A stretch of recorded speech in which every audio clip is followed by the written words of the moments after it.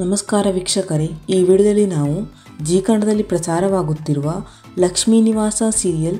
ಈ ಸೀರಿಯಲ್ನಲ್ಲಿ ಜವರೇಗೌಡನ ಮೊದಲನೇ ಸೊಸೆ ನೀಲು ಪಾತ್ರವನ್ನು ನಿರ್ವಹಿಸ್ತಾ ಇರುವ ನಟಿಯ ನಿಜ ಜೀವನ ಹೇಗಿದೆ. ನಿಜವಾದ ಹೆಸರು, ವಯಸ್ಸು, ವಿದ್ಯಾಭ್ಯಾಸ ಹಾಗೆಯೇ ಹುಟ್ಟಿದಂಥ ಊರು, ಲೈಫ್ ಸ್ಟೈಲ್ ಇದೆಲ್ಲದರ ಬಗ್ಗೆ ಈ ವಿಡಿಯೋದಲ್ಲಿ ನೀವು ನೋಡ್ಬೋದಾಗಿದೆ.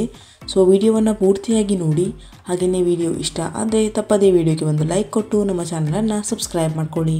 ಮೊದಲನೇದಾಗಿ ನೀಲು ಪಾತ್ರಧಾರಿಯ ನಿಜವಾದ ಹೆಸರು ಮಾನಸ. ಇವರ ಪೂರ್ತಿ ಹೆಸರು ಮಾನಸ ಮನೋಹರ್ ಅನ್ನೋದಾಗಿದೆ. ಇನ್ನು ಇವರ ಬರ್ತ್ ಪ್ಲೇಸ್ ಬೆಂಗಳೂರು. ಅಟ್ ಪ್ರೆಸೆಂಟಲ್ಲಿ ಕೂಡ ಇವರು ಬೆಂಗಳೂರಿನಲ್ಲೇ ಇದ್ದಾರೆ.